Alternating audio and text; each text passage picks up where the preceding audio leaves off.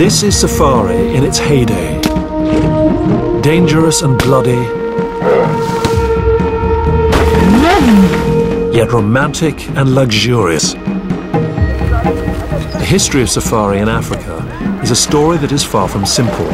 It's entangled with the controversial story of white settlers, colonial life, and the spread of the British Empire.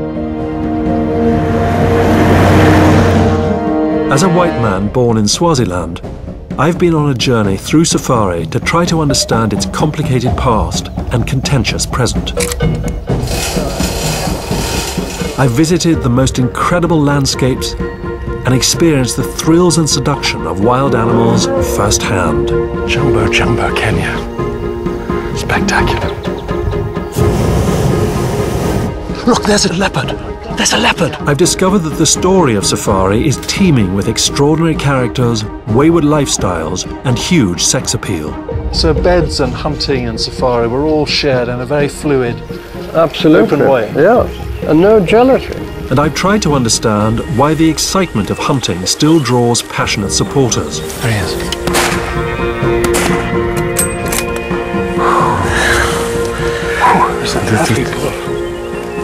My journey has shown me that ultimately, safari is about exhilaration and freedom. It's been the adventure of a lifetime.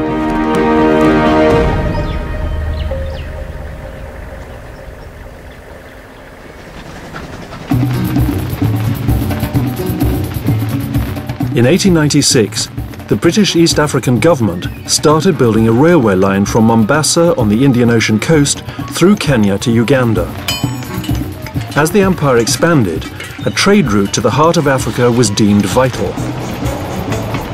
Nicknamed the Lunatic Express, the line opened in 1903 and was soon transporting wealthy British adventurers in search of safari and big game hunting. Nairobi became the main station.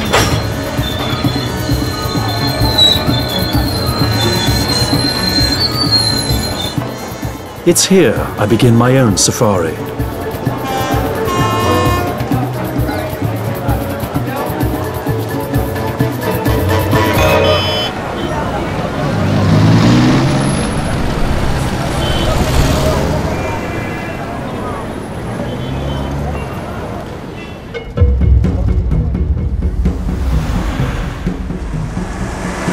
Nairobi began in 1899. It was a simple railway depot on the Lunatic Railway Express. Back then, zebra, lion, wildebeest, giraffes roamed the dust track that passed main street. What initially began as a few huts and very base, basic infrastructure then developed into a city uh, that was never planned. By 1907, it was declared the official capital of British East Africa.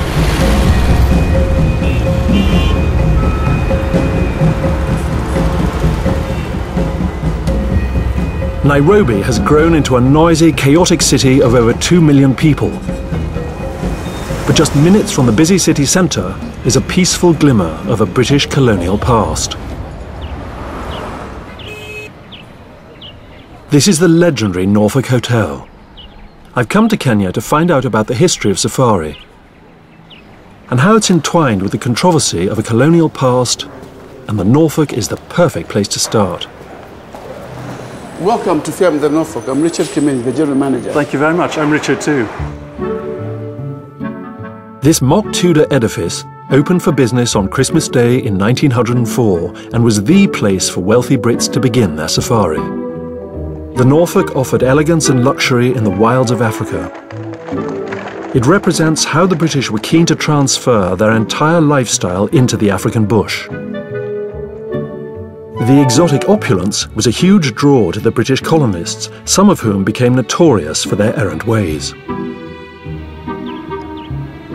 So this was the epicenter of, Of the hotel. colonial life. Colonial lives, because here we used to have cottages where they used to come and play billiards and uh, wife swapping and all that, according to the history. And that doesn't happen now. No, it doesn't happen. There's no anymore. wife swapping now in Nairobi. Not anymore. Welcome, this is your suite. Thank you very much. Oh, wow. Welcome, and here, Oh, high luxury. Thank you, Richard. your bedroom is over here. An oasis in the middle of Nairobi. Thank you very much. I wish you a very good stay with us, overlooking the hotel is main courtyard. The grandeur and pomp of the Norfolk is timelessly British and reminds me of my own history.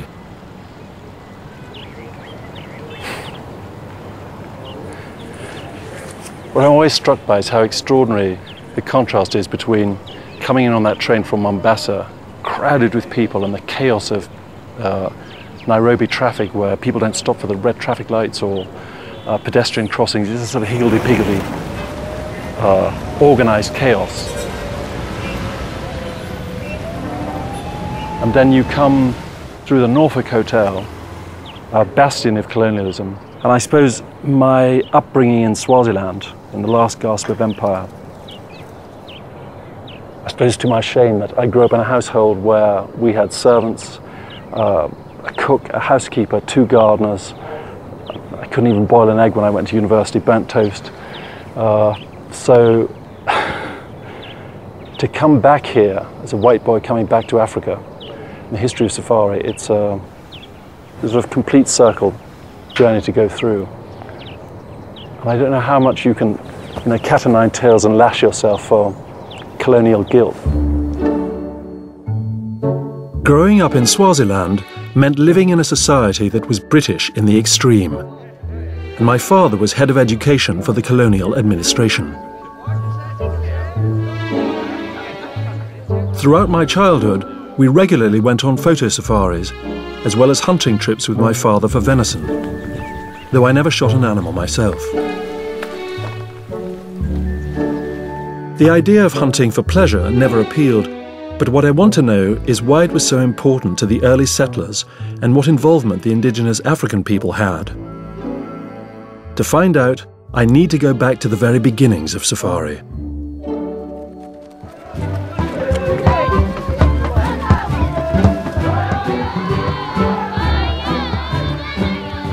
Safari derives from the Swahili word meaning journey and was originally used to describe the trade routes used by coastal Arabs and Swahilis who transported ivory, rhino horn, and slaves from the African interior to the Asian market.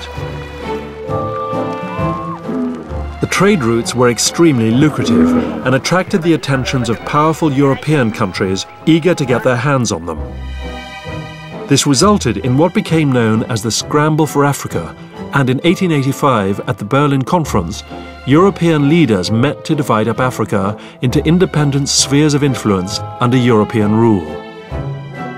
Britain bagged Uganda and Kenya, which all came under British protectorate rule and were christened British East Africa. The newly acquired lands were vast with an abundance of wildlife that the British government had big plans for. They began advertising back home for the British aristocracy to begin a pioneering new way of life and money-making enterprise. In the early 1900s, British East Africa proved an irresistible draw to the aristocracy back home. They could come out here and buy hundreds of acres of land cheaply, build homes at little cost, employ local people to work for them, whilst enjoying an idyllic year-round temperate climate. One of the first and most controversial British settlers to take up the challenge was Hugh Cholmondeley, the third Baron Delamere. Lord Delamere acquired 100,000 acres of land close to the equator in 1901. He arrived by train and disembarked at this level crossing and declared that the open plains stretching around him would be where he would build his first home and business venture, Equator Ranch. I'd arranged to meet Professor David Anderson of Oxford University to find out how Lord Delamere became one of the leading lights of early settler life. David, was this the original house? No, this house is a more modern construction, but this is where the farm was. This is, you're right in the centre of it here. How brave or bold or foolhardy, in your opinion, was it to come here and take over a thousand acres of Well, unoccupied land? You know, that's a great question because you, you look at it now and you think, well, how in heaven's name did they do this?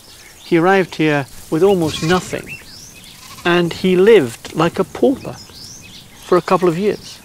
So this is not a rich British aristocrat coming to play around in Africa. Mm-hmm. This is someone who's down on his luck, having hard times, coming to make a fresh start. And by God, did he work at it. So how did he plan to make money? What did he try to farm? Well, he brought out, initially he tried sheep on the farm. I mean, that was quite a shrewd notion. This was not a bad area for sheep. But he tried to bring in exotic stock from New Zealand. Um, they did okay at first, then they all died because they contracted fevers and other diseases. Then he brought in Herefordshire bulls from the UK, had them imported at huge expense. He sent his stockmen off to New Zealand to buy some other stock. He thought some merino sheep would be even better. He brought those in. Vast expense. Shipping stock halfway around the world to come here in the middle of nowhere. I mean, it's, it's an astonishing adventure. You might say misadventure because none of it worked. But as well as being an entrepreneur, Lord Delamere was also an enthusiastic hunter. He had grown up in the British aristocratic tradition and had also spent many years hunting elephant for ivory across the African continent before settling in British East Africa. But when it came to clearing his newly acquired farmland of wildlife, Lord Delamere seemed to take the sport of hunting into questionable territory. So how notorious was he? He was very ambitious and very energetic. And in fact, he, it's quite an interesting story. He got involved in a spat with a guy called Sir Harry Johnston, who was the governor of Uganda. And he wrote a very nasty letter to the Royal Geographical Society accusing Delamere of hunting with a Gatling gun, which is an, early machine gun, mounted on a ridgetop up in North Baringo and sort of creaming out the elephants. Now, Delamere always denied this and said he hadn't done it. But Johnston really made a fuss about it, and, and, and some of the mud certainly stuck to Delamere's reputation early Did- on. was it true? It could well have been because there were a lot of hunters in those early days who were quite exploitative, mostly looking for adventure, looking for a quick buck. They were a dangerous crew because they were keen to do well and they were prepared to exploit in order to do well. And by God, in Kenya they did that.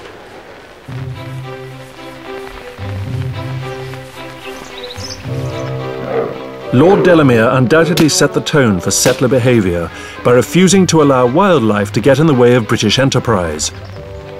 To make the African land suitable for farming, the mass slaughter of big game animals began. This was made an enjoyable and sportsmanlike experience by introducing the custom of the hunt, with some early settlers even importing packs of hunting hounds from England and riding out on the African plains kitted out in traditional pinks or scarlet jackets.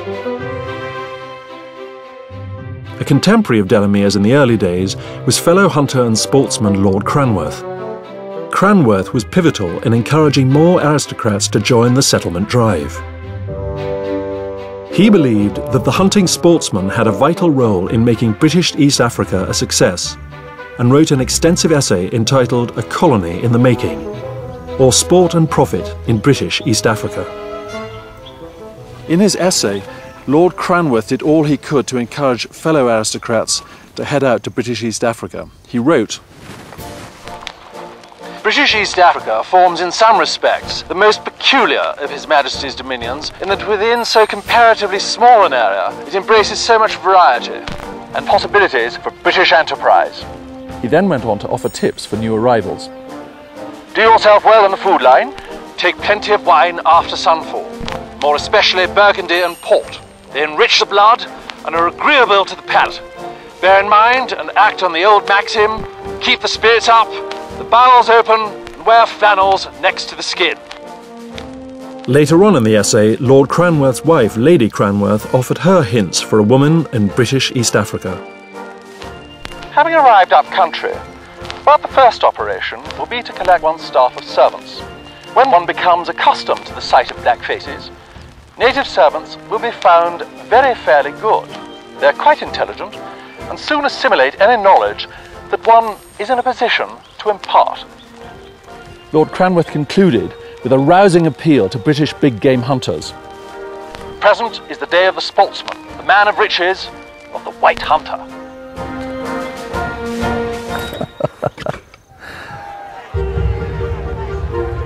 Gung ho and spirited the early pioneering settlers may have been, but they also felt completely assured of their natural right to rule and to exhaustively exploit every resource and the native peoples of British East Africa. In 1907, Ewart Grogan, a well-known figure in the early settler years, publicly flogged three of his staff on the steps of the Nairobi courthouse for frightening his niece by driving his rickshaw too erratically. Lord Cranworth wrote that he knowingly exploited the Maasai and Kikuyu tribes by trading cheap trinkets and opera glasses in exchange for valuable ivory. This is the image of colonialism that makes me feel uncomfortable about my own past. But to try and get a better understanding of the early settlers, who were generations before my time, I want to meet their descendants, whom I hope can tell me more.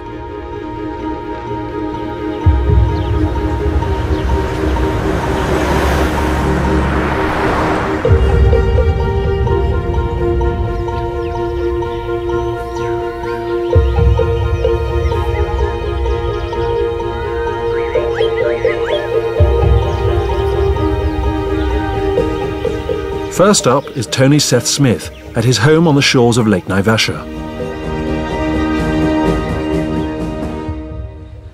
But Tony, correct me if I'm wrong, your pa arrived here 106 years ago, which would make it 1904, 1904. 1904. And his brother, his elder brother Martin, had come out the year before. And why did he come here in the first place? Well, home for adventure. And it was, I suppose, one of the last frontiers. You know, Canada had been opened up and the west of the United States and Australia and so on. And so they were in on virgin ground as they saw it then. Do you feel that they had a sense of entitlement in the spread of empire and that it wasn't questioned in any way? I think to a degree, in as much as the country was largely untamed, undeveloped, uh, and they were bringing development and civilization as they saw it. And so they had a moral edge on the people who were already here.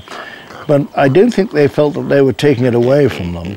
I was born and brought up in Swaziland, and my father always said to me that even though you are born here, you are essentially, as a white person, you're a guest in this country. So I always had that, I suppose, a wobble in my mind about whether owning land or not, whether I had a right to do that. Has this ever crossed your mind at all? No. Kenya was a colony, and Swaziland was never a colony. No, is it protected? Uh, we came and colonized this country, we, uh, the British, and plus a few Scandinavians and things. And we were issued land, we paid for that land, they didn't take it. But I think people like my father also had a degree of, I wonder if this is fair to the African. I often heard him say, well, the poor African, he's getting the thin end of the wedge on this or that. Uh, but of course, as I say, you've got to remember that there were only one and a half million of them at that time, and now they're 40 million. So people who want to be critical see the country as it is today and say, how could you come and take land away when it's so congested and everyone's looking for a patch of land? Well, it wasn't like that then. Um, you've got to take things as they were at the time. For Tony's father's generation of early 20th century settlers, the extraordinary and abundant wildlife was little more than a pest that stood in their way.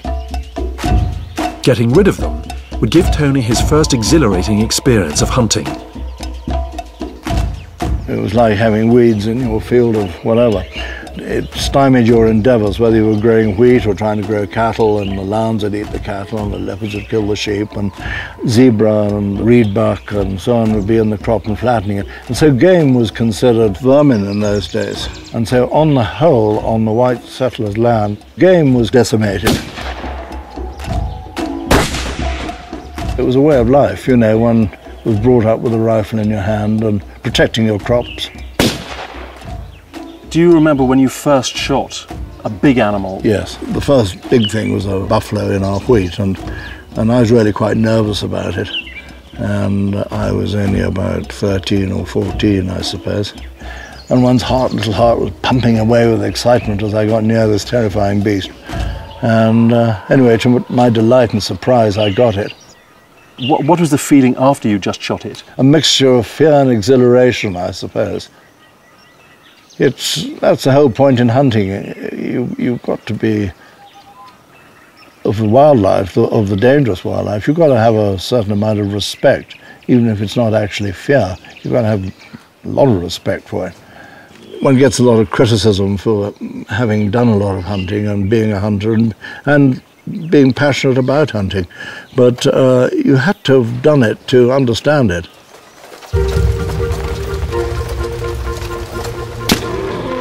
Hunting big game became a central part of the lifestyle of the early white settlers. It was a sport they loved. But out here on the African plains, they could take it onto a much bigger and more exciting scale. Fox and grouse were chicken feed compared to this. Hunting in British East Africa was a man's game. Rituals were established that glorified the triumphant hunter. He would be photographed with his trophy kill. Heads and skins were removed and preserved for him to take home and adorn his walls. If I'm going to try and understand the appeal and thrill of hunting, I need to get first-hand experience. I'm heading north out of Nairobi towards Lake Naivasha in the heart of the Great Rift Valley. And it's my first chance to see the magnificent wildlife. This is absolutely incredible. God, look at this, all on the run. I'm on my way to meet Gordy Church, who is a modern-day professional hunter. Gordy, I'm Richard. Lovely to meet you. How are you? And Welcome you?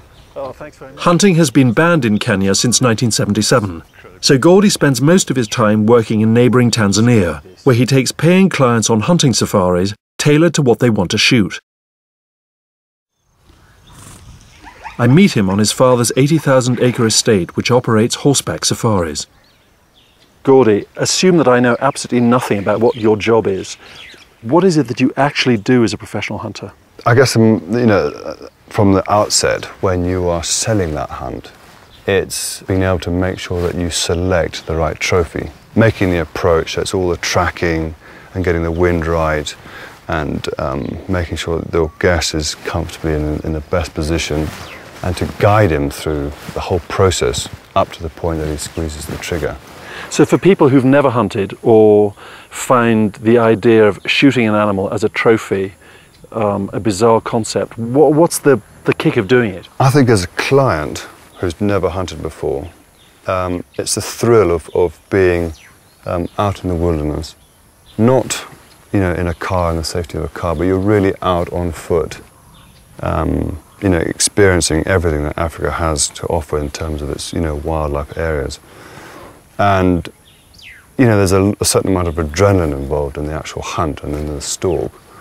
But it's sort of more than that. It's the sort of, you know, it's the adventure that comes with it.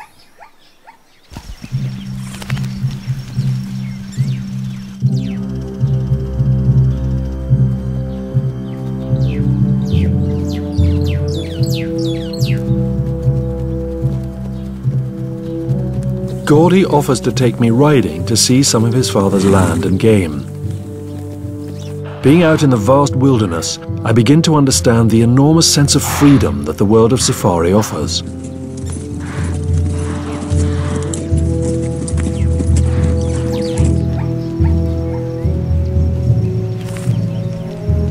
To experience the thrill of the hunt, but without the kill, Gordy invites me to go tracking to see if we can get close enough to some game, within shooting distance.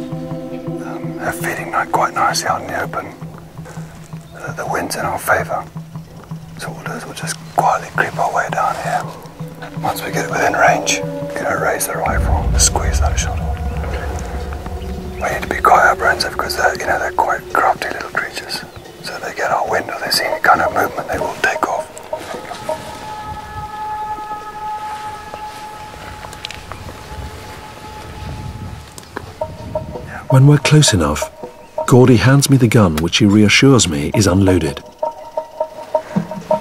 Okay, bolts open. Okay. No ammo. Okay. So what you want to do is you want to pull that tight into your cheek. Okay. Grip that nicely. I lean slightly forward into the shot. Keep those legs spread. And then what you want to do is put that bead, sits right in the bottom of that V. Okay. Holding the rifle and looking down the sights sets your pulse racing. The sense of power is thrilling and electric. I still don't think I could do it. Maybe, I don't know.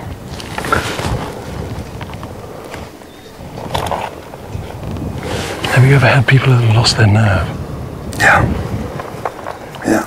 I've had, um, I mean, there's a common thing called buck fever when someone gets so excited. They, they start to shake. But it's just a question of getting them to calm down and, and thinking about it. And you know, the thing is, you don't have to take the shot. That's not the point. The point is, is exploring this beautiful area and coming to this point. We have many clowns who get to that point and they'll think, yeah, it's too beautiful, I'm not going to take the shot. You never have to take the shot.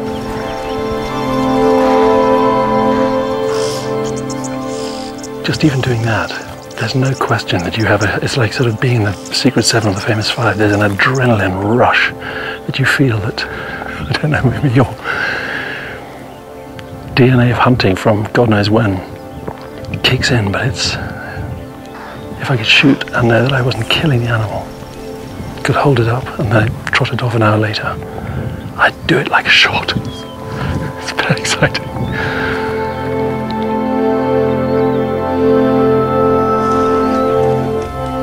Stalking and tracking with Gordy has catapulted me back to my childhood. I was just hit by an incredible nostalgia because the last time I did this, I was hunting with my father when I was a boy in Swaziland, and uh, when he shoot, he would shoot impala.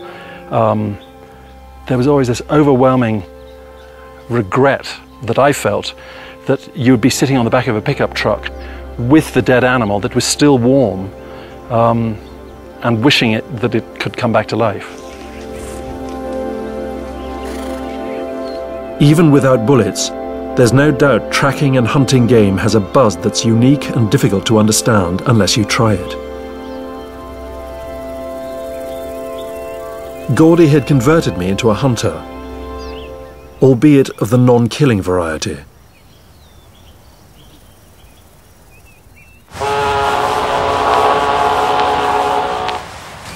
By the early 1900s, the settlers had realized they were onto a good thing and that perhaps they could sell the experience and adventure of big game hunting worldwide to paying clients.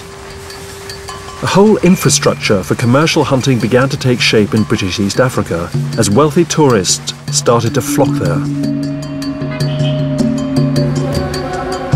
To cater for the growing demand, special safari outfitting companies began to spring up in the rapidly growing town of Nairobi. I headed to the National Archives where catalogues of old newspapers are kept from the early settler days. I wanted to look for adverts from the original outfitting firms and met up with Professor Anderson again, who agreed to help me. This is the East African Standard, one of the first newspapers in the colony. And here we have on the Standard for uh, 1906 typical adverts that relate to the safari trade, hunting, and all the things that go with it. And these are companies that outfit safaris. So I could go and get You could go and you, you could buy a safari chair and a tent and camping equipment from Smith Mackenzie and Co. Excellent. Um, and there's another one that describes themselves as colonial stores, Mombasa and Nairobi, selling wholesale and retail, all kinds of things. including Uh. Callum's Perfection whiskey, Ferguson paints and oils, wines and spirits, green rot-proof tents. Yep. They're all huge, grand tents from 1903 with verandas, with porches. These are statements of status, class, importance. And my goodness, no African sets foot in those tents. So, the, the, embedded in the safari story, in its very material culture, is a history of separation and difference and Entitlement, distance. luxury. So all of this, I mean, it would be the equivalent of you know, the, the Times of London having a huge advert for Harrods saying, Come, come, here, on the first day. We'll fix you. It's pretty sophisticated You, for you- you can oh and a fit 10. everything out from the one. It's a one-stop shop. So Yeah. this was enormous business. huge business. Even then. And, and, and these companies would, would put you in touch with labour recruiters who would also arrange for your porters and transportation food supplies, everything you needed. So they'd sell you your equipment, but they'd also fix your trip for you. As these companies grew, there would be one major client who would take the idea of big game hunting combined with extraordinary luxury and transform it into a pursuit renowned the world over. The recently retired President of the United States, Theodore Roosevelt. The President arrived in East Africa at the end of his second term in office, and he trailblazed into town, accompanied by his 19 year old son Kermit and a vast entourage.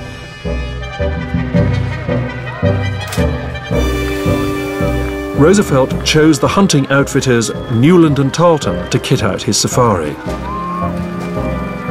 The company also provided him with a first generation of newly founded professional hunting guides, R.J. Cunningham and Philip Percival. These men were experienced hunters who would lead the elder statesman through the dangerous bush in search of his trophies. The former president's arrival was a huge coup for the burgeoning British expat community, and they were keen to play host to him while he hunted. Roosevelt began his safari on land owned by Lord and Lady Pease, who were still building their home when the party arrived. In the pastures close to the Pease's family home on the Kapiti Plains, I met Don Young, the current owner of the Newland and Tarleton Safari Farm. What are you recreating here today? We've taken a photograph from the Roosevelt Safari of Roosevelt's personal sleeping tent that he uh-huh. had set up when he arrived. So we're going to put up the Roosevelt tent and kit it out the way Roosevelt had it done back in 1909. And on what scale was this safari undertaken? How many people did it involve? It was huge. When he arrived at the station, uh, the Kapiti station, there were 250 people waiting for him with 20 armed askaris or soldiers to escort him. And they all shouted out, Greetings to the King of America! Greetings to the King of America! And they were all in their perfect Newland and Tarleton uh, uniforms, and it was a small army actually. So, out of those 250 people that were lined up at the station, what was the division of what they each did? Roosevelt himself had six assistants, and they stayed with him throughout the trip until they got to the Sudan, where they switched all the porters over. And by then, they were 500 porters. By modern US dollar standards, this was a $1 million safari. This is the biggest thing that ever happened to Kenya. And it literally put Kenya in the consciousness of millions and millions of people that would otherwise think of Africa only as the dark continent. If you want to help the guys, let's both grab a, a, a, line and we'll stretch these out and hammer in the stakes. Okay, I'll get a mallet.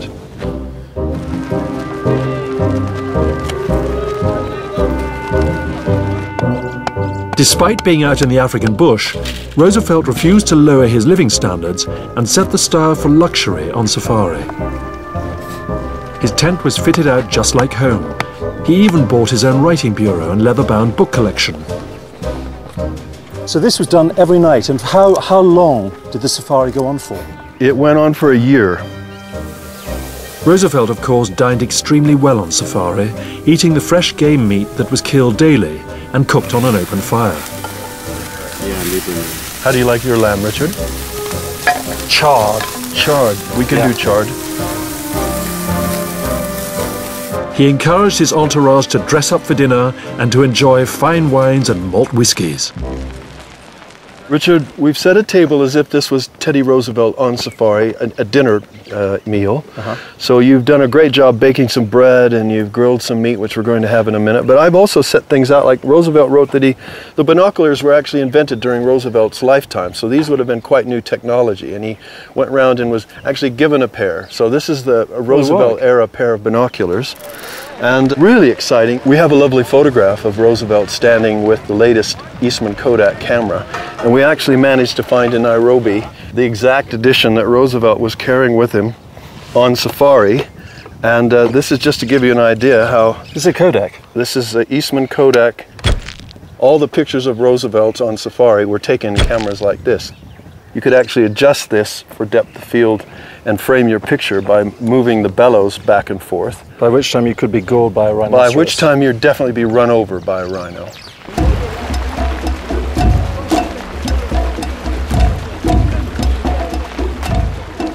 Although it sounds contradictory, Teddy Roosevelt was both an avid hunter and devoted conservationist. He brought with him a vast team of scientists and justified his year-long hunt by proclaiming he was shooting as many animals as possible in the name of natural history and transporting his trophies back as specimens to adorn the museums of New York. Among his team of scientists was Carl Akeley, a hunter, inventor and sculptor who revolutionized taxidermy by creating giant dioramas reconstructed scenes from the African bush with plants and real stuffed animals. Akeley and Roosevelt's scientific endeavours attracted worldwide interest and expectation. Don't forget, there was our big safari, the Newland Tarleton safari of 250 porters. Following them like a little shadow universe, parallel universe, were reporters from all over the world. There was an entire safari that followed him around, and every time he allowed them, they all came in and took his pictures. He had, he had his own private photographer called Heller, so most of the images we have were shot by him. But this is a media circus. Yeah, what's extraordinary is that how did they ever, if they were moving this great phalanx of an army through the bush, how did they not frighten every bit of game off? Well, there's your point. They had to put the put the camp aside, and then they would ride out for an hour or two, out into the game country. This is virtually what's called a naive wildlife population. They'd hardly seen other humans or hardly been hunted, so the, the game was so thick. And if you if you read Roosevelt, the biggest problem with the hunt was Roosevelt himself. He was blind in one eye. Typical Roosevelt. He'd been boxing in the White House. Okay, he'd been punched in the eye by one of his mates and hemorrhaged, and he went blind but he wouldn't let anyone know this. So how good a shot was he? Lousy, lousy shot. So it was a case of somebody he took a big old blast and somebody else had to go and Leslie Tarleton, as, as hunters do today, the professional hunters today stand right off the shoulder. So he's like an actor with a stuntman. Absolutely.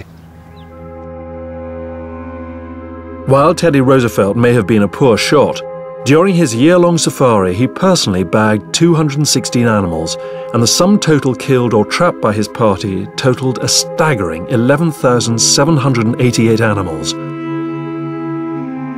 all in the name of science.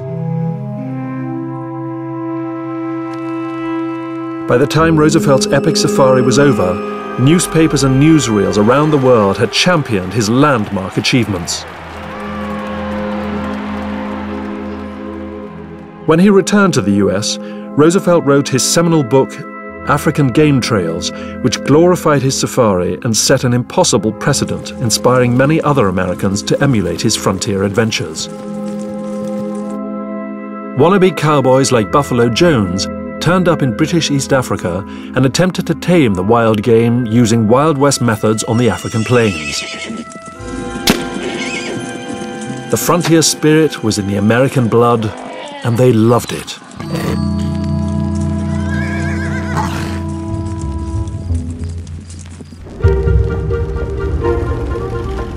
Within a few years of its beginnings as a simple rail depot, Nairobi had been transformed into a westernized town, the hub of a burgeoning safari industry and home to an expanding community of British expats who were growing rich on its profits.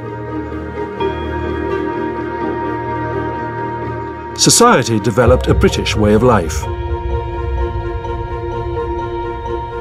The newly founded Turf Club held weekly race meetings and polo matches, and families entertained with luncheons, picnics and garden parties. Emerging from the First World War, the British government set about encouraging more gentry to emigrate to support the push for colonisation. Their masterstroke of recruitment took place here at the then Theatre Royal in the heart of Nairobi, where they advertised plots of land up for grabs. The Protectorate was offering a new way of life that Safari encapsulated. Freedom, luxury, power, danger and excitement. A land free from the restrictions of life back home.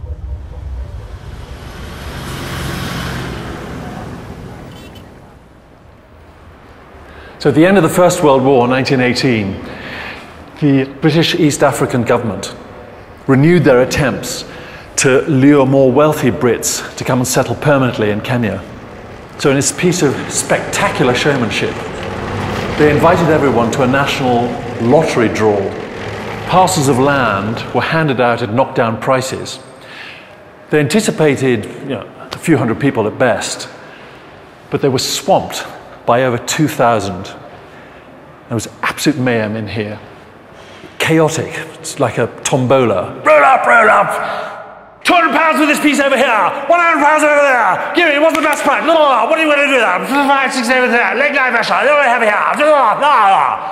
And it was absolutely jammed right here in what was formerly the Theatre Royal, Nairobi, and which today, ironically, is divided up into a church service down below and the Cameo Cinema up here, which until very recently showed films of a uh, rather, shall we say, vibrant nature.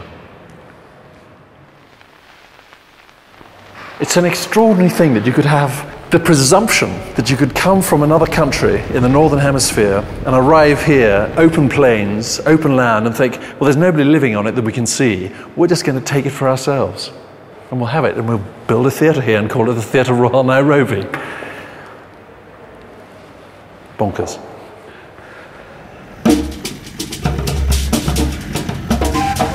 The marketing campaign paid off. In 1920, British East Africa became a fully fledged colony and was renamed Kenya. Safari was entering its boom years as hordes of wealthy tourists flocked to the freedom and thrills that Africa offered. To get a taste of the luxury that 1920s safari now offered, I headed southwest from Nairobi and into the Masai Mara. The Mara is breathtaking. Acacia trees are scattered across the vast plains and big game animals roam freely. Driving through it is awe-inspiring.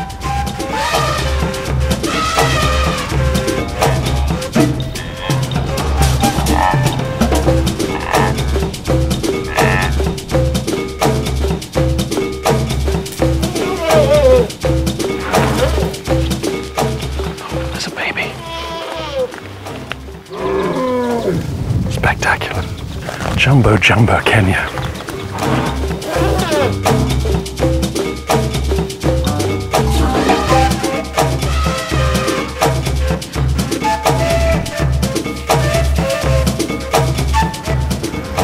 What's so jaw-dropping about this landscape is that the Kruger National Park in South Africa feels almost suburban in comparison in the sheer scale of what there is all around you here. That's a thing that I was completely unprepared for. I'm en route to find the Cottar's 1920 safari camp. American-born Charles Cottar was the first in the family line to head out to Kenya to settle in 1910. Cottar soon earned a reputation as a fearless hunter and brought danger and excitement to safari. He also tapped into the growing American market as safari became an elitist pastime for the super rich. Cottar's Safari Service first opened for business in 1919, and the latest in the family to take over the helm is Calvin Cottar, Charles's great-grandson. Thanks, James. Santi, Santi. Hi, Calvin. Richard, how are you? How are you? Welcome to camp. Oh, thank you. Hi. Jambo. Natura, Hi, Tura. Natura. Hi. Jambo. Cindy. Ah, Hi, Jambo.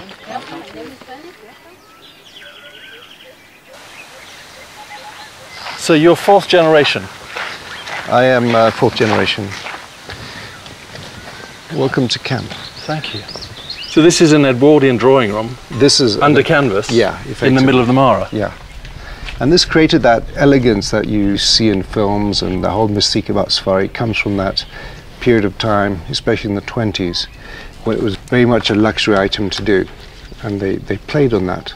My, my, my family and people in that business made their camps as unique as possible. I'll show you um, some family heirlooms. Here's my grandfather's hat, his original hat, and a lot of original books from that era. This gun was used for shooting a, a, a very big buffalo in 50, I think 56. Is that why it's got this buffalo on here? Exactly. Does it still work? Oh, very much so. Oh, yeah.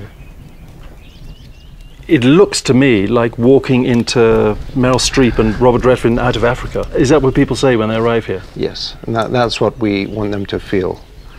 And what, who were the hunting uh, and safari clients who were, were attracted to come here then?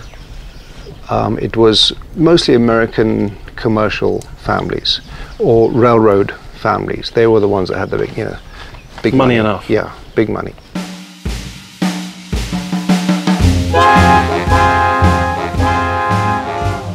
Cottar Safari boomed in the 1920s and 30s. Charles had three sons, Bud, Mike, and Ted, who were all big game hunters. But as with Roosevelt's original safari, the Cottar Safari wasn't just about killing. Together, the brothers pioneer the genre of natural history filmmaking at considerable risk to themselves by skillfully luring wild animals close up to the cameras. And it was Charles's thirst for danger that would prove fatal. In 1940, he was gored by a charging rhinoceros and died aged 67. His sons vowed to carry on the family's safari tradition. Do you feel the spirit of all these men Oh. in you and here? Yeah, uh, right here, because, okay, my great grandfather was killed by a, a, a rhino five kilometers over there. My father was hit by a buffalo and very nearly killed three kilometers over there. And my formative years was all here. My, my first hunting experience was here. It's a magical place. And it's, I've come back to my roots, which is here. The gods are talking to us. They are.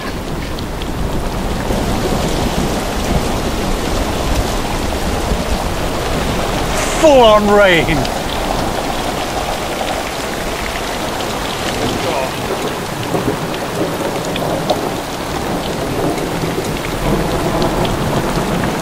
Pure organic water. Oh, it's beautiful.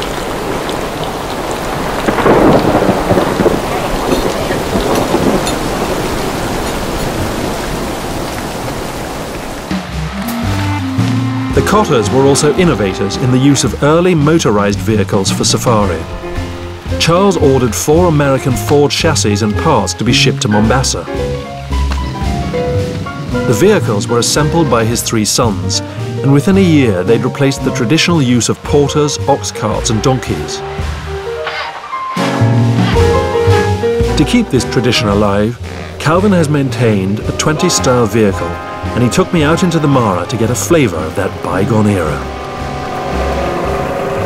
Let's see if we can cross this stream up here. What happens if we get stuck? Well, I've got you to push. Yeah. this is it. This is it, Calvin.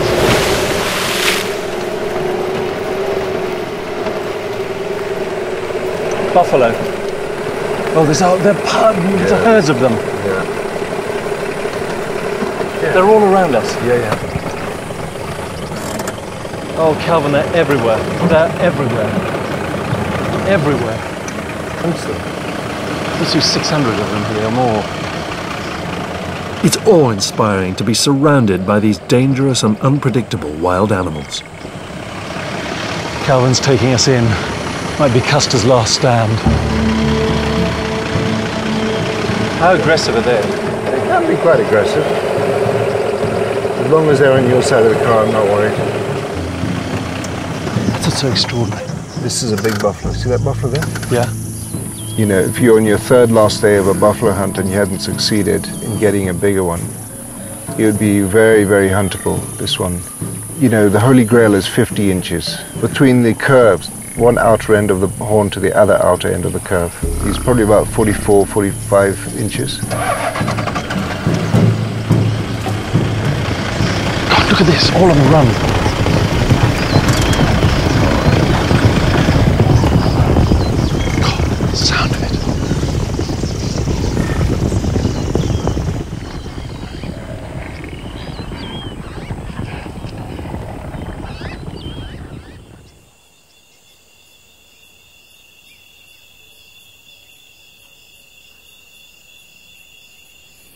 Seeing such impressive big game close up was the perfect end to the day at Cottar's Camp. And although we weren't hunting as they would have done back in the 1920s, I was beginning to get seduced by the heady luxury of it all. Good afternoon. Oh, Jumbo, Francis. Jumbo, Jumbo. Santisana. Karibu. Cheers. Yes. Ah. It's incredible to imagine that in the 1920s, people would have come on safari and trekked out into the middle of nowhere in the Masai Mara with all this luxury tenting and equipment and baths available. But I tell you, I can imagine that after a day of hunting and safari, this is the way to go. Chin chin.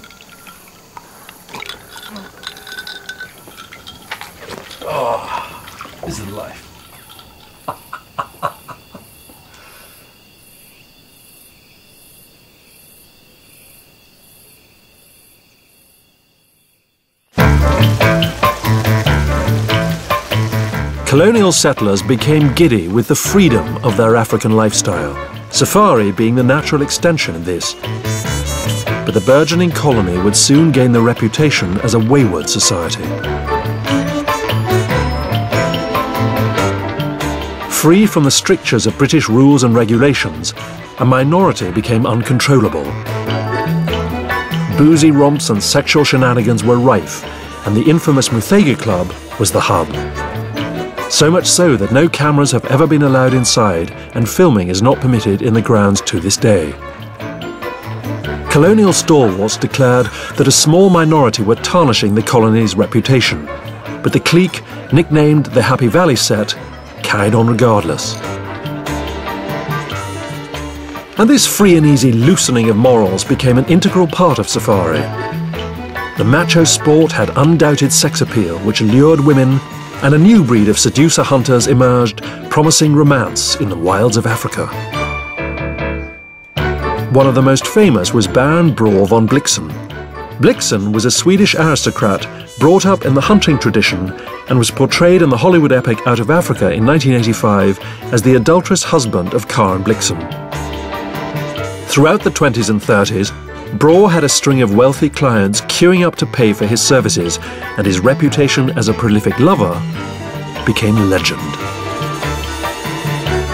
But what was it that Bror had that made him so adored? I met his godson, Ulf Aschan, to find out. Ulf, can you show me a photograph of Bror? I can indeed. This is not typical of Bror at all, because very seldom did you see him dressed up in a suit and a tie. But this is a, a, more typical picture, and he wasn't one of these guys who had bullet belts and no macho posturing. Nothing. He just carried a gun and a few bullets in his pocket. That was it. So, considering that he wasn't conventionally handsome, he was a legendary ladies' man. Yeah, that's right. and one of the secrets was that if he met a lady, his concentration was so total that that woman or girl thought that she uh, was the only woman on earth. He never wavered. I mean, he, he never took his eyes off the particular person he was speaking to. He just looked him in the eye and he talked to him and he listened. He was a very good listener. That was his secret.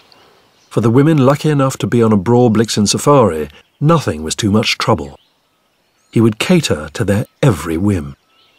If we go back to this particular safari, which they had two aircrafts on standby, because once a week the matriarch demanded to be flown to Nairobi once a week to have her hair done. and, hair done for the hunt. and that. not only that, the plane then came back fully laden with Evian water for her bathtub. Beryl Markham said that when he died, he broke the mould. Yes, I think she was right. And they were lovers as well, were they? I think definitely, yes. In a friendly way. Yes. so beds and hunting and safari were all shared in a very fluid, Absolutely. open way. Yeah. And, and no jealousy, which was the best of all. Are you like that? Uh, I probably was. now no more. no. Bror Blixen became the highest paid professional hunter of his generation. He formed a professional partnership with fellow hunter Denys Finch Hatton, another legendary womanizer, famous for his love affair with Karen Blixen. Blixen and Finch Hatton combined to become Safari's first generation of heartthrob hunters. The thing that comes across most about Bror Blixen for me is that he was a man's man that people wanted to befriend and to emulate, and was also irresistible to women. So, the best of both worlds. Lucky bastard.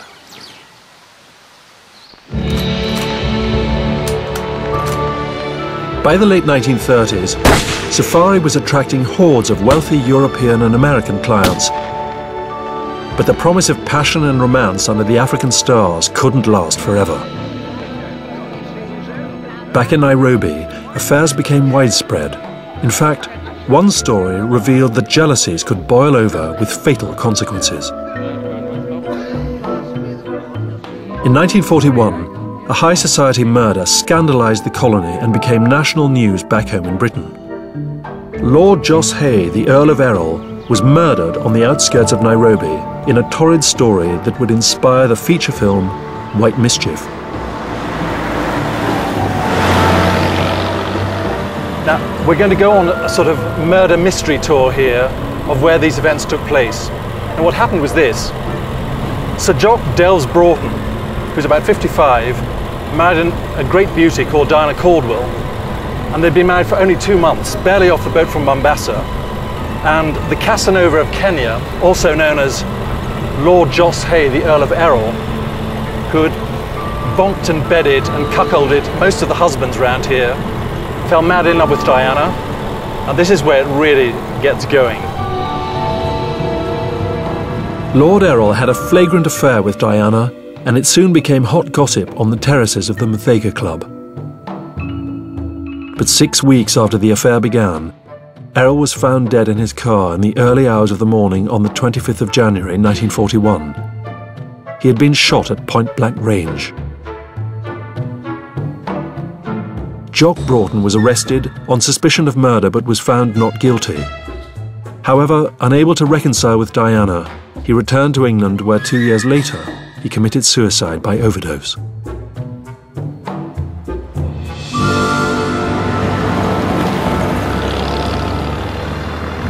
It remains an unsolved mystery, and it was this murder in the middle of the Second World War that brought notoriety and infamy to a very tiny minority of the aristocratic white settlers here in Kenya.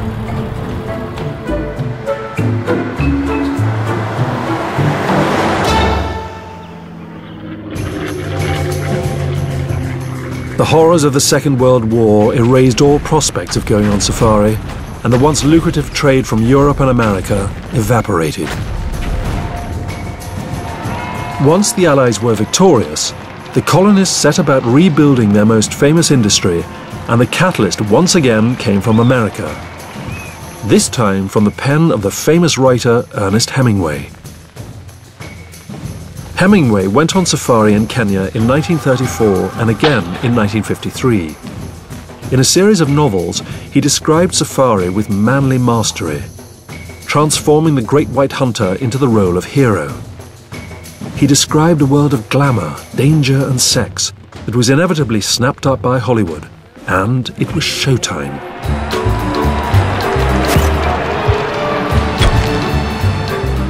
A stream of romantic movies followed, glamorizing safari, like Mogambo, starring Clark Gable, Ava Gardner, and Grace Kelly, and King Solomon's Mines, starring Stewart Granger and Deborah Kerr. Hollywood portrayed white hunters as protectors, killers, and womanizers, yet at one with nature. The women in the movies trembled at the hunters' machismo and were drawn irresistibly into their beds. The movies had huge appeal to audiences worldwide, prompting a tourist boom in pursuit of the Hollywood dream.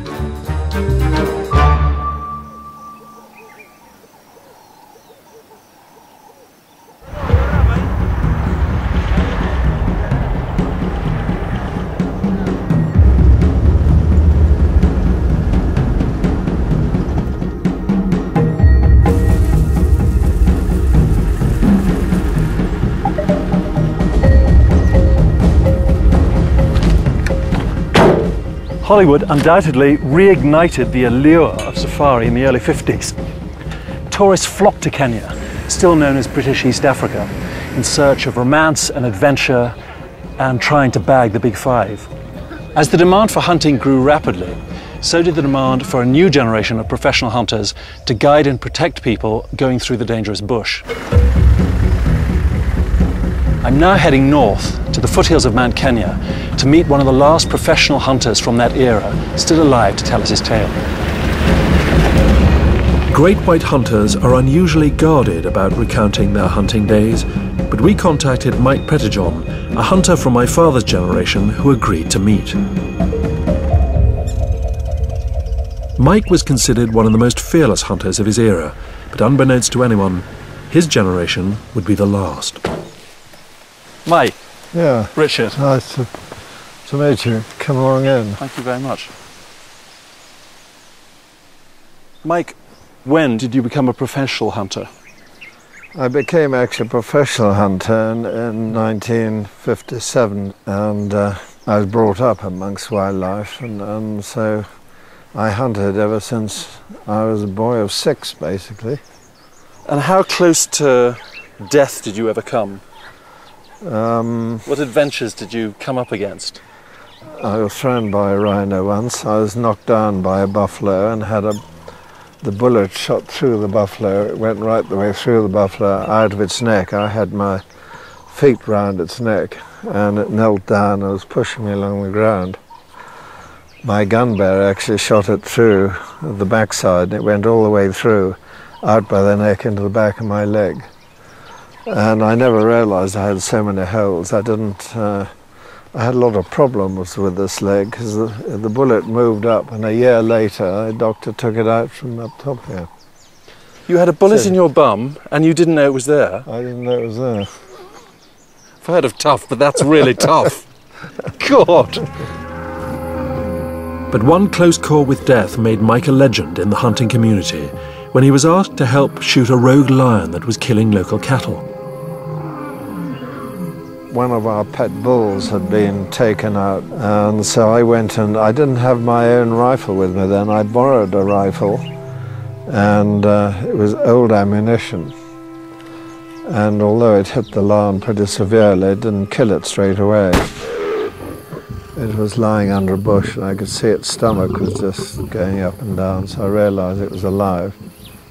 And so I walked around, trying and get a shot at it side, and it obviously heard me coming, and it suddenly just whipped out. I remember it coming towards me. Its tail was going, driving it like the uh, Propeller. like the propeller of an aeroplane, and uh, I put out my hand to stop it, and then it fell over. It came down on top of me, and I put my leg up, and it grabbed my leg in its jaws. As Mike wrestled with the lion, his unarmed companion took a photograph, hoping that the flash would scare it away. He hadn't got a gun or anything, so the best defense was to take another picture. And the flash, obviously, I think the, the lion thought another bullet was coming, so it jumped off. And uh, So flash photography saved your life. I would say the flash photography saved my life, yeah. When you describe this, it sounds as though it's so vivid. It sounds as though it could have happened yesterday. Yeah. And you're how old are you now? 77, How old do you feel? 45.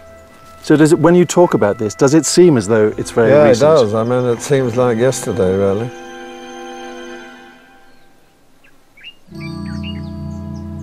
What I find personally extraordinary is that many of these elder statesmen of safari and hunting that I've met here are the age that my father, if he'd lived, uh, would have been, because he was dead at 52. So there's um,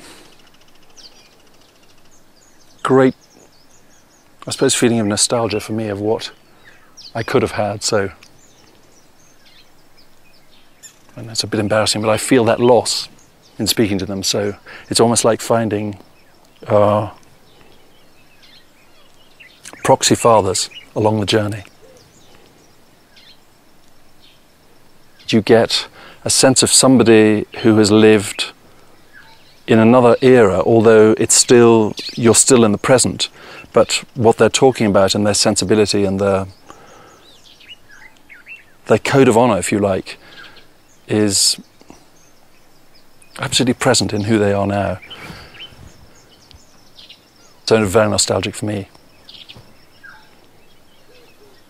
George, you got me there. Bloody hell.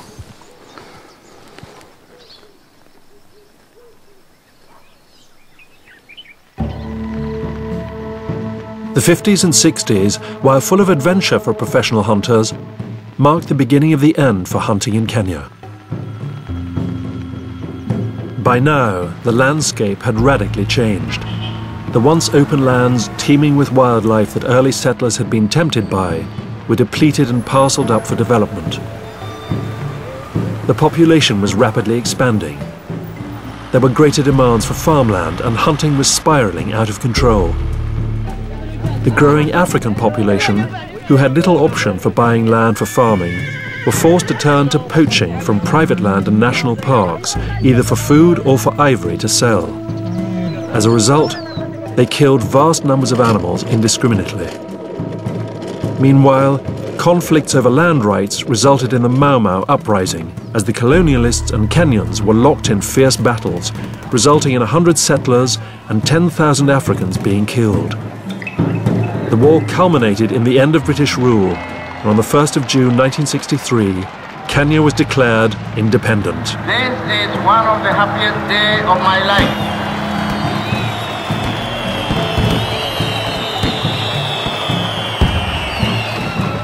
But the new African government failed to get a grip on poaching, and the situation escalated.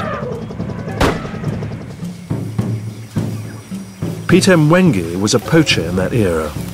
Decades later, he is a gamekeeper and patrols the Aberdare forest to conserve the animal population. Peter, this is enormous. What's this? What animal is this for? Um, this is for, for trapping buffalo. If the animal comes across to put in, inside like that, Yeah. if it, it is caught like that. So this is guaranteed to kill the animal. Yeah. Ah! Peter, can you explain what this Yeah. monster is? Those are bed elephant traps. They are put down and covered by soil that Mhm. elephant cannot see in it. When it is starting to move there, it is it is inside their legs. So it's injured. Yeah, yeah, yeah. Poof, Inside the hair. And after moving maybe two to three days, it is defeated how to move. Start lying, no food, is dead. So then poachers can come and get it. Tusks. Tusks. Yeah, Peter, when you were a poacher, yeah. what weapons did you use? Well, when I was a poacher, I was using spears and spear it. And would it die instantly? There and there, What? Through the neck? no, no, through the, the heart. I did a very bad work, unknowingly. So when did that change? When you became a conservationist? Um, it came, that, that time there were professional people, professional hunters. They came to my place. They asked someone who could show them the bush to hunt. So I was, uh, I was appointed to take them up by somebody. When I took them in the forest, and, and uh, I was given five shillings per day, five shillings per one day. And we killed one bongo on license, professional licensing. Uh, I realized those animals can give you money. I started to live slowly by slowly to stop that work of poaching.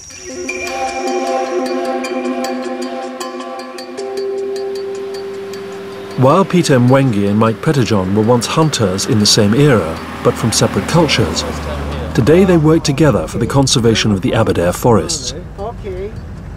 But their relationship is a minority in the history of safari. By the late 1960s, poaching had continued to rise, and national parks like Tsavo lost 35,000 elephants and 5,000 rhinoceros. As the wildlife population continued to plummet across Kenya, a growing conservation movement was making any form of hunting ever more unacceptable. Finally, the Kenyan government decided to impose a ban on all forms of hunting in 1977 in an attempt to conserve the wildlife that remained. Despite the ban, safari continued to expand, reinventing itself along the way. Cheap air travel meant ever more tourists could fly into Nairobi for the safari experience, with the gun being replaced by the camera. By the 70s and 80s, photo safaris became a mass market. But the history of safari proves that there are always people willing to pay to shoot wild animals, and safari hunters spread to Tanzania, Somalia, Uganda, Botswana, and South Africa, where it is still legal.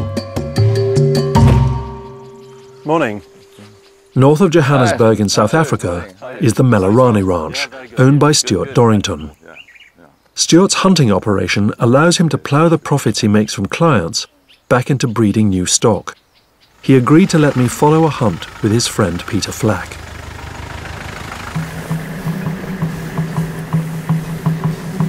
Stuart and Peter are hoping to find an older animal past breeding age that would either die of natural causes soon or be culled.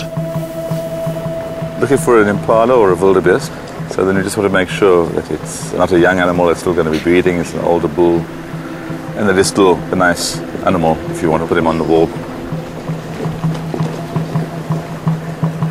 Sometimes you'll see exactly what you're looking for, and then you'll drive past out of earshot and, um, and out of sight, and then put in a stalk.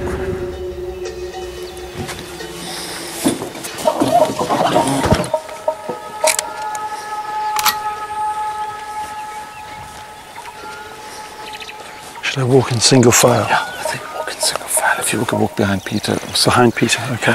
And then I'll just walk in front here. The breeze is good as straight into us. After only 10 minutes of tracking, Stuart thinks he has spotted the perfect animal.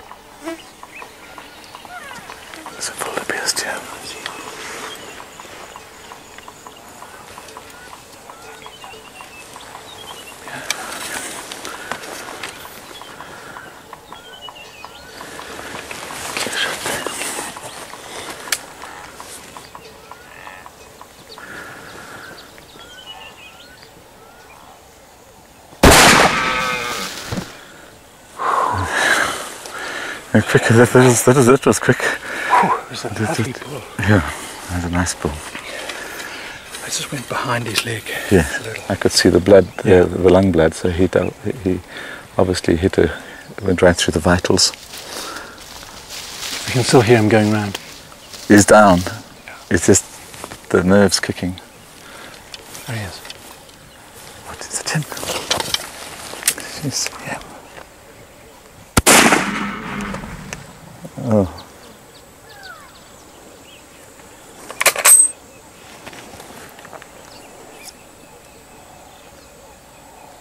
So what is that movement now? Nerves That's or nerves. Just yeah. pure That's what I thought it was going on down there. You know, uh, sometimes with their last they. Well, that amazed me that he's still going. I thought he'd get a tough things he's wildebeest. It's the toughest animal pound for pound, I think, on the African continent. If they were as big as buffaloes, people would hunt them in armored cars. Peter's adrenaline was clearly pumping, and it reminds me of tracking with Gaudy Church and how emotionally charged I felt back then. Taking him off has no impact on the population really because he's not a breeding bull. what happens next? Well, we normally clean him up. We take a couple of photos.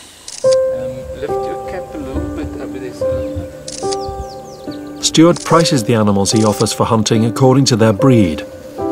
Shooting the wildebeest cost 825 US dollars, while the most expensive animal he offers is the sable antelope, costing 9,750 US dollars.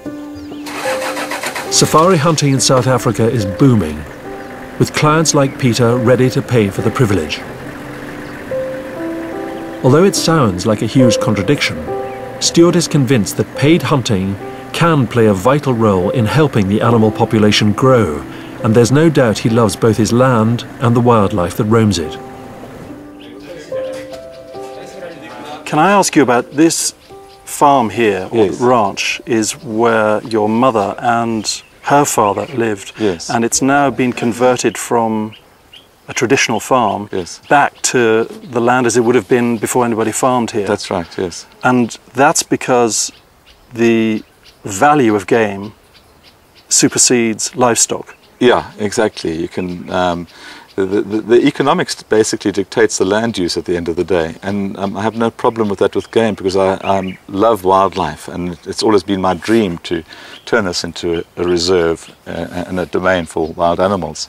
From the hunting, we managed to invest the proceeds into rare species. So not only have we brought back the species that used to be fairly common here, we've brought back species like the white rhino and the sable antelope, and it's causing this huge population explosion. So, Stuart, are you saying that it, it, it sounds like a contradiction in terms that you have hunting, but because it's controlled and licensed, uh, that increases the amount of game that there is? Absolutely, it, it, it, it's uh, totally true that way, you know, and it incentivizes when you are then looking after your own game. You're not going to kill the goose that lays the golden egg. You want to have another goose, you know. So you, you look after your game better than probably many of the national parks are being looked after because you want them to be fruitful and multiply. When Stuart took over Melorani 26 years ago, the wildlife on his land consisted of only a handful of kudu and warthog. But today, he has over 2,500 head of game. Even though hunting safaris are in the minority in Africa, Stuart's operation has shown me that hunting might still have an important role to play in conservation.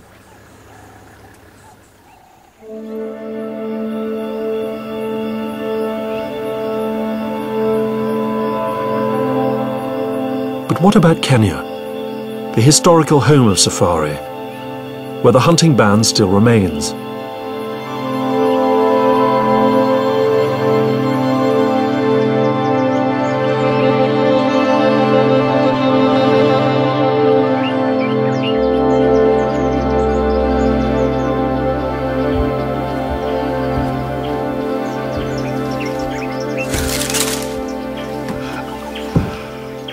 Last night we had a four-hour higgledy-piggledy drive down a track that I've never been anything like in my life.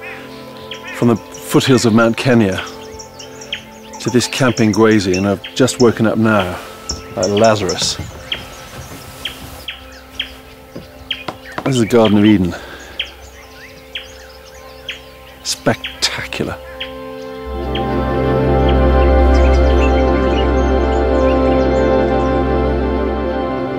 Hunting or not, safari has always been about the sheer power and glory of the African landscape. This is Il Ngwesi, and I hope that lodges like this signal the future of safari in Africa. Il Ngwesi is run by the local Maasai community. The idea for the lodge came from local white settlers, who helped generate the funding to build it. But the Maasai have been involved from the start and were responsible for the lodge's unique eco-friendly construction. The current lodge manager is Ocean Sakita Maini. So it's the first Maasai run This is the first. owned safari in, in Kenya. Yeah, indeed, this is the first Maasai owned and managed safari here in Kenya. And when the first guests arrived here, was that a shock when people actually arrived? Oh, well, I tell you, it was a shock because um, we did not understand how to handle, and it was the first time we were seeing tourists. So for us at that time, it was even uh, difficult because these were different people. Uh, the color, the pink color, it was difficult for us even to shake hands. People were telling, we wanted them to keep their distance. So you're saying that when you first met the pink people, Yeah. um, and you had to keep them at a distance. Keep them at a distance. Wa- yeah. Was it? How long did it take to to learn or adopt a Western style of business to run the safari camp? It, it took us quite some time and um, more than one year to slowly understand. And are you making money? Yeah, we're making money now. And what happens to it? This one supports the Wai Dam. Uh, the, the revenue we generate from this one is again plowed back in the community uh, to, to support the various uh, projects and programs we have in the community. These are water, education, that is schools and bursaries for the school-going children. Um, it goes to, to assist in conserving um, the, ecosystem. Um, yeah. Has been the inspiration behind 10 other African run safari lodges that have been set up across Kenya over the past decade. While still in the minority, Il Ngwesi feels like the way forward to experience a truly integrated African safari, free of any colonial echoes.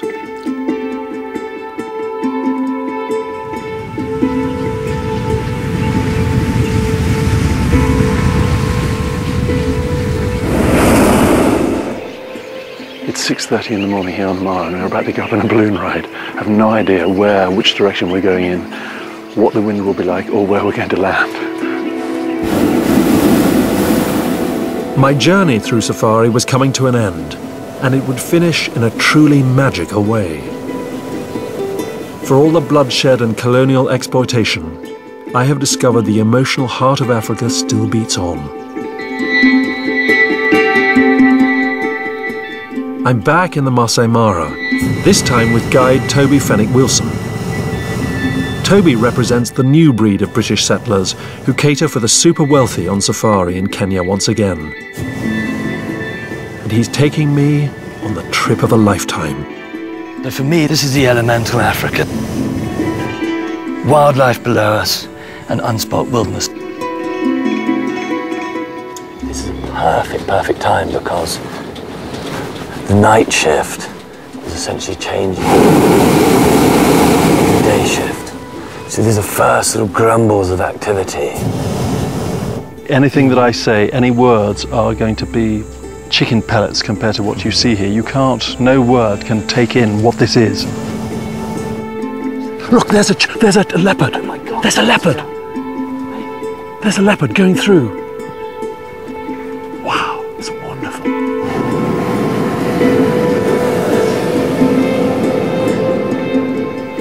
Never seen that. That's.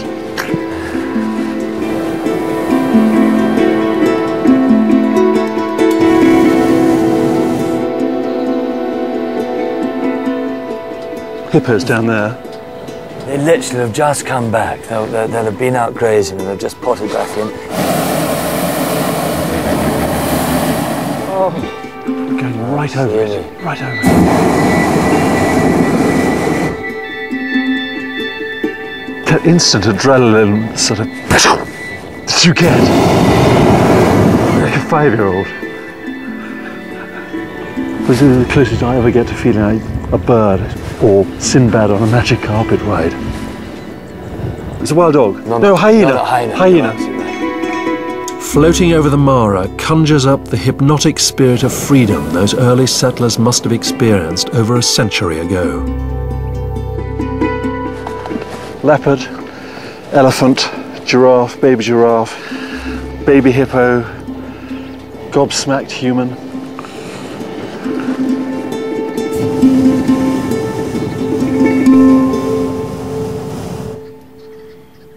Jumbo. Jumbo-san. After recovering from a breathtaking flight, Toby treats me to a champagne breakfast in the bush. There we go. Whoops.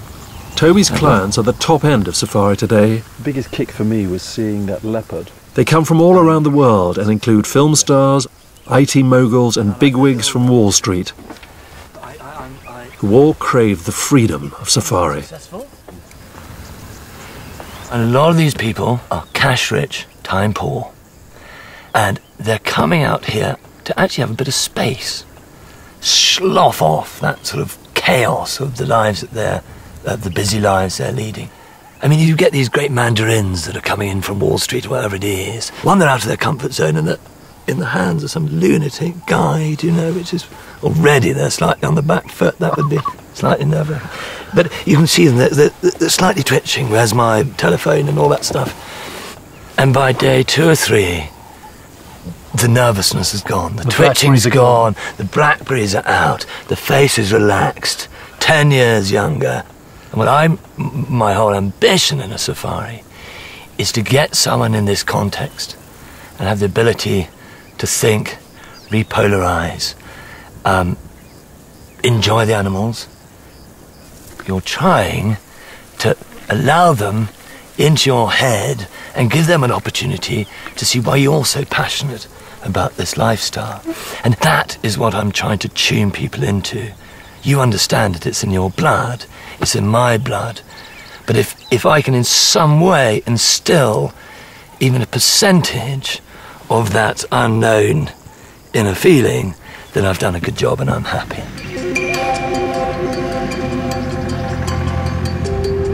After a journey through the history of safari, I wasn't ready to leave Kenya yet. I still had one last animal I wanted to see. Lion are the royalty of the African plains, and Toby heard on the Bush Telegraph that a pride had been spotted on a nearby hillside.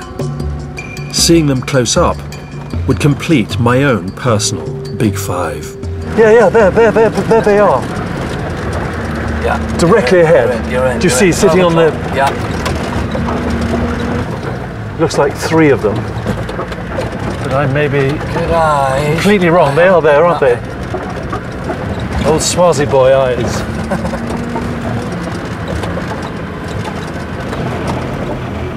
oh my God! One, two, three, four, five, six. Seven. There are seven here. Oh, youngster, look.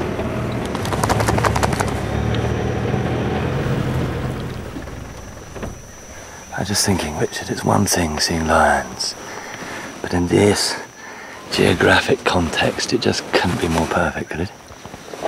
Couldn't. It's sublime. Like generations of settlers before him, there is no doubting Toby's genuine love for Africa and its wildlife. And I know that once it's in your blood, it never lets you go.